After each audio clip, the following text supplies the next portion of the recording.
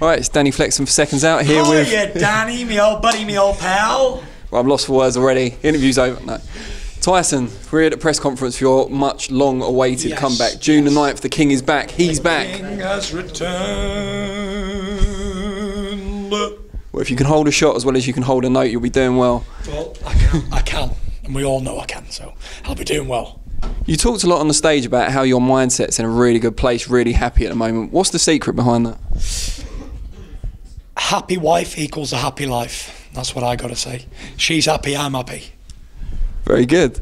Um, you're working now with a new trainer in Ben Davison. We spoke to him earlier. Very, very positive guy. Very impressed with the stuff he was saying Good-looking to us. He is a good-looking fellow. He's not my type necessarily, but you know, a bit too muscled makes me feel self-conscious. He's not muscly, he's a bit chubby. Is he? Yeah. Oh, I bet he'll love that. What does he bring to the table that you perhaps haven't had in the past? He brings the fact that he's a good looking fella. Is that was that important? Very important, very important because, you know, I don't want to be going round as as a great boxer with an ugly trainer. My trainer needs to be sexy, suave, feeling it. And Ben is.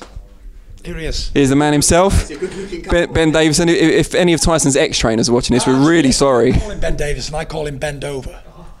I'm not even going to ask why because that will just lead to more trouble. No, he, listen, he's a good trainer. And I picked him because he's a good looking fella and he's young and he's ambitious and he's got a nice Corey on him. It's, if young, good-looking fellas is what you like, that's all good with me.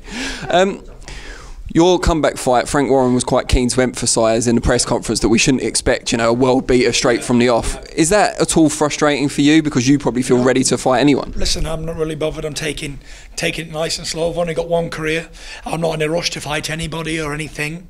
And if they bring Alien versus Predator combined on the 9th of June, then that's who I'll fight. It's really unimportant who I fight because it's about me returning to my former glory.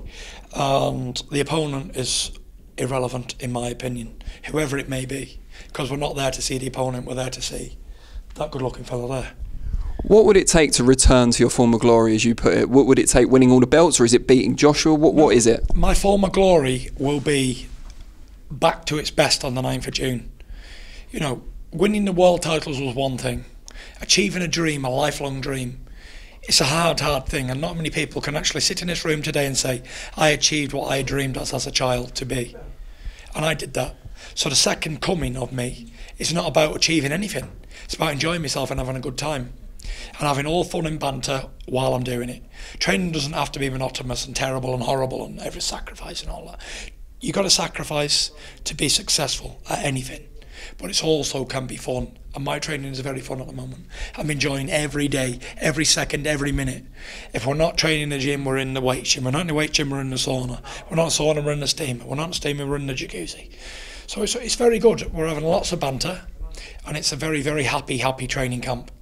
They say absence makes the heart grow fonder. Ultimately, you missed boxing. It seems from all the fans surrounding you, the famous footage, and also the tickets so far, sales for this, boxing missed you. Do you really appreciate that? I appreciate it. You know, I love my fans. I've got a lot of fans, and I went I went through a lot of hard times, and they stood by me, and I, I'm got to give them credit for that, and that's why I'm returning to put on good fights.